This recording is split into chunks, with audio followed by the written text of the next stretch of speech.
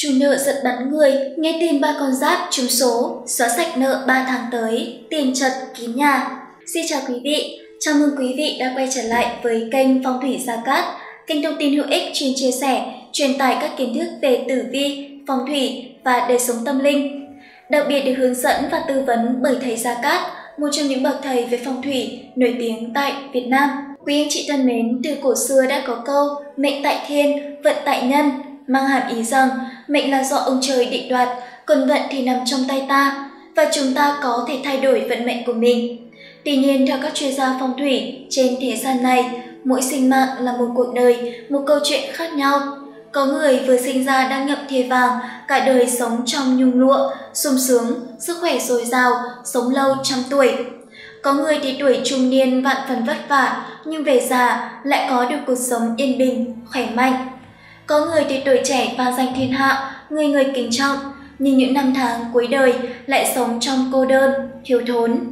Vậy nên mỗi người lại có một cuộc đời riêng, vận may đến với mỗi người cũng như vậy. Tử vi năm 2021 cho thấy, trong 3 tháng tới đây sẽ có một số con giáp gặp được nhiều may mắn. Những con giáp này làm gì cũng thuận buồm, xuôi gió, gặp nhiều điều may mắn, thần tài che chở, ban cho vận may bất ngờ mà còn được cả thiên địa nhân mà vươn lên như diều gặp gió. Vậy xin mời quý vị và các bạn hãy cùng đón xem chương trình ngày hôm nay để biết được các con giáp này là con giáp nào và có những vận may nào đến với các con giáp này. Ngoài ra, phần tử vi ngày hôm nay được luận giải bởi thầy Gia Cát và các chuyên gia hàng đầu với nhiều năm kinh nghiệm về tử vi và phong thủy. Bên cạnh đó, trong tháng này, thầy Gia Cát sẽ nhận tư vấn hoàn toàn miễn phí tại văn phòng công ty Phong thủy Lộc Tài về các vấn đề như tử vi, phong thủy, mua mã âm trạch, xây nhà, sửa nhà, cưới hỏi.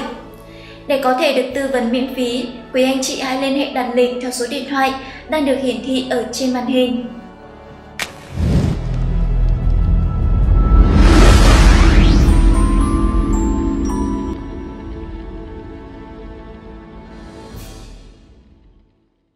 Thứ nhất, tuổi tỵ.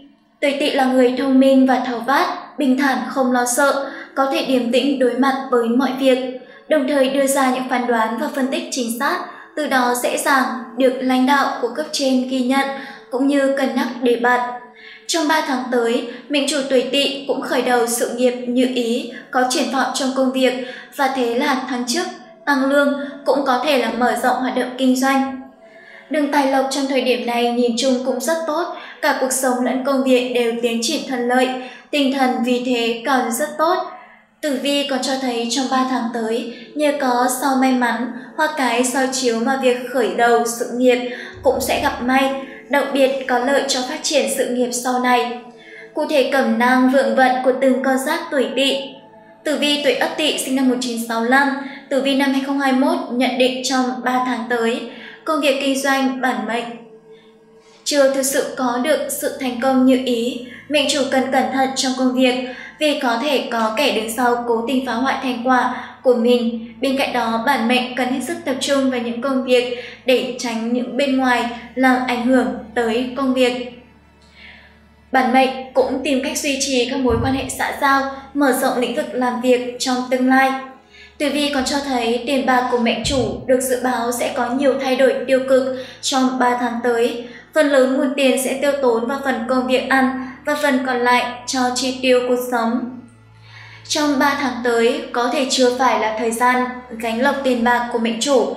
Chính vì vậy, bản mệnh hãy kiểm soát chi tiêu của mình để không hao tốn của cải. Tử vi tuổi đinh tỵ sinh năm 1977 trong 3 tháng tới sẽ là thời điểm tuyệt vời cho bản mệnh. Sự phát triển công việc và sự nghiệp của bản thân. Bản mệnh sẽ có nhiều cơ hội thúc đẩy khả năng ngoại giao và cơ hội thăng tiến trong tương lai. Bên cạnh đó, bản mệnh còn mở rộng được các mối quan hệ kinh doanh, tạo cơ hội đầu tư vào nhiều kế hoạch. Công việc thành công giúp mệnh chủ mang lại nguồn tài chính dồi dào. Nhìn chung trong 3 tháng tới sẽ là khoảng thời gian dồi dào tiền bạc của bản mệnh, sẽ không cần bận tâm đến các khoản chi trong cuộc sống, thậm chí còn có thể mua sắm thêm cho gia đình. Tuy nhiên, trong thời gian này, bản mệnh cũng không được chủ quan với sức khỏe của bản thân. Bản mệnh không nên quá hăng say công việc mà ở bê ăn uống, đi ra đường bản mệnh cũng nên cẩn trọng, lưu ý những việc liên quan đến xe cộ. Tử vi tuổi kỷ tỵ sinh năm 1989 tuổi kỷ tỵ trong 3 tháng tới, công việc thuận lợi hanh thông, có nhiều tài lộc. Về ngoại giao, bản mệnh có mối quan hệ mới, làm ăn tốt dẫn đến công việc khởi sắc và đạt kết quả như mong muốn. Chính tiền bạc của tuổi kỷ tỵ trong thời điểm này không dư giả, thuận lợi, bản mệnh phải chi tiêu nhiều tiền bạc cho việc làm ăn, kinh doanh, gia đình thất thoát do gia giàu. Bản mệnh phải chi tiêu nhiều tiền bạc vào việc làm ăn, kinh doanh, gia đình, thất thoát xa do đầu tư. Đặc biệt lưu ý với bệnh tật lâu ngày không khỏi, các bệnh liên quan đến tiêu hóa. Trong 3 tháng tới, việc đi lại của mệnh chủ cũng gặp nhiều khó khăn và không được may mắn. May mắn gia đạo trong thời điểm này có tin vui đón thêm con cháu. Trong gia đình, các thành viên mới trong gia đình hòa thuận vui vẻ hạnh phúc, đón tin hỷ. Ngoại anh em trong gia đình, đón tin hỷ có thể là nội ngoại anh em trong gia đình. Ngoài ra để mọi việc được phát triển một cách hanh thông, thuận lợi, mệnh chủ tuổi tỵ hãy mang theo bên mình vật phẩm phong thủy, vòng tam hợp quý nhân, tỵ, dậu, sửu. Với năng lực tam hợp khí của vòng sẽ giúp mệnh chủ đạt thông năng lượng ngưng tụ, thiên, địa, nhân, từ đó giúp mệnh chủ xua đuổi những hung tinh, tà ma, những kẻ tiểu nhân ganh ghét luôn rình rập xung quanh. Vòng còn giúp bản mệnh hóa giải những thị phi, mâu thuẫn, tăng cường các mối quan hệ, đồng thời vật phẩm sẽ giúp tuổi dần để tăng may mắn, chiêu tài lộc, chiêu cát lành và đặc biệt là chiêu mời quý nhân giúp đỡ bản mệnh phát triển mọi khía cạnh trong thời gian sắp tới. Thứ hai là tuổi hợi. Mệnh chủ tuổi hợi là người khôn ngoan, thông minh, tinh thần làm việc cao, sẵn sàng bỏ ra nhiều thời gian cho công việc hoặc sự nghiệp. Vì vậy mệnh chủ rất dễ dàng đạt được thành tích ở nơi làm việc, lãnh đạo cũng sẽ công nhận và được đánh giá cao. Trong 3 tháng tới, khởi đầu sự nghiệp có nhiều may mắn, mệnh chủ gặp được quý nhân nơi ở, nơi làm việc. Thời điểm này, vận may còn làm mưa làm gió, thần tài đổ bộ, giàu sang không ngừng. Từ đây, mệnh chủ tuổi hợi vĩnh viễn chia tay với khó khăn nghèo đói. Ngoài ra những mệnh chủ tuổi hợi cũng có sự nghiệp vững vàng, càng ngày càng bổ sung thêm vận khí tài lộc. Trong tương lai, dày đặc chuyện vui thường xuyên xảy ra. Cụ thể, cẩm nang vượng vận của từng con giáp tuổi hợi như sau. Tử vi tuổi Tân Hợi sinh năm 1971, công việc trong 3 tháng tới của tuổi Tân Hợi vô cùng thuận buồm xuôi gió do có sự hỗ trợ của quý nhân. Bản mệnh sẽ đạt được mục tiêu mà bản thân đã đặt ra từ lâu và nhận được sự công nhận của mọi người. Bên cạnh đó, các mối quan hệ cũng giúp mệnh chủ thành công hơn trong công việc, đặc biệt là ký kết hợp đồng, nhiều hợp đồng lớn, công việc thuận lợi nên tài chính của bản mệnh cũng chưa được khấm khá. Và dư giả, tuy vậy tiền chi tiêu cũng tốn khá nhiều trong các khoản tiền vậy, nên mệnh chủ cần kiểm soát chi tiêu chặt chẽ hơn, tránh hao hụt về tiền bạc trong 3 tháng tới. Bản mệnh cũng sẽ chi nhiều tiền cho việc mua sắm các vật dụng cho gia đình và công nghệ. Tử vi tuổi Quý Hợi sinh năm 1983, công việc các mối quan hệ của tuổi Quý Hợi trong 3 tháng tới là không gặp nhiều biến cố. Công việc và các mối quan hệ của tuổi Quý Hợi trong 3 tháng tới không gặp nhiều biến cố phiền muộn, cũng vô cùng thuận lợi về mặt ngoại giao.